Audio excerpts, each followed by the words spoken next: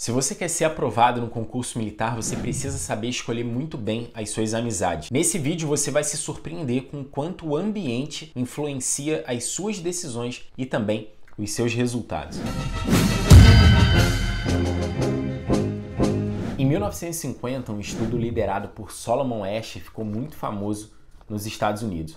O estudo consistia em trazer estudantes universitários para fazer o que seria um rápido exame de vista. Chegando lá, além dos estudantes, havia atores contratados somente para esse evento. E a eles era pedido que observassem a folha, uma folha como essa, com um traço, e prestassem atenção ao tamanho desse traço. Em seguida, eles pediam o seguinte: que eles olhassem para essa segunda folha e visse esses três traços e era perguntado: qual desses três traços aqui tem o mesmo tamanho do primeiro traço que você viu? Bom, como você pôde observar, uma resposta muito simples, muito óbvia.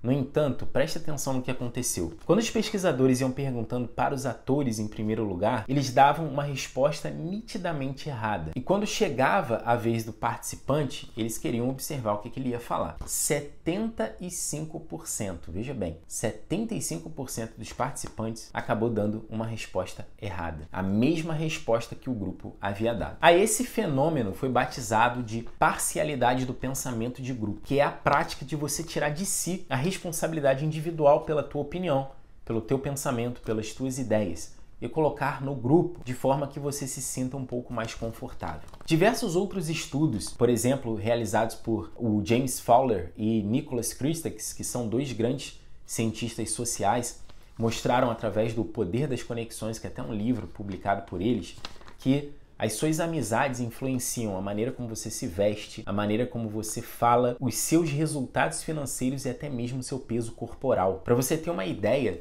do que foi levantado nesses quase 20 anos de estudo por esses dois cientistas, eles concluíram que se você tem uma amizade, aqueles amigos que são mais felizes, mais animados, você tem uma chance de ser 6% mais feliz se você tiver essas pessoas ao seu redor, em comparação com pessoas que não têm amizade assim. Então veja só o quanto o teu ambiente e as pessoas ao seu redor influenciam de maneira concreta na tua vida e nos teus resultados. Diante disso, é importante que você se pergunte o quanto as tuas amizades têm te influenciado. Que tipo de pessoas você tem deixado que influenciem a sua vida, as suas decisões? Que tipo de ambientes estão influenciando você nesse momento. E aí eu te pergunto se não é o momento de você se separar de alguns ambientes, de você limitar um pouco o tempo que você passa com algumas pessoas. Comece a prestar atenção nisso. E saiba que se você quiser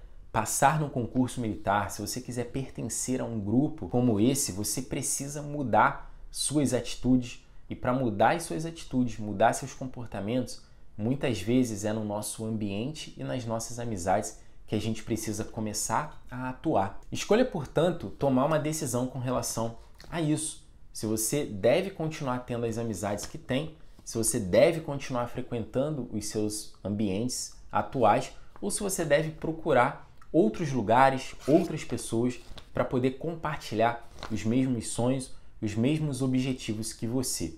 Espero que tenha feito sentido. Um forte abraço e a gente se vê.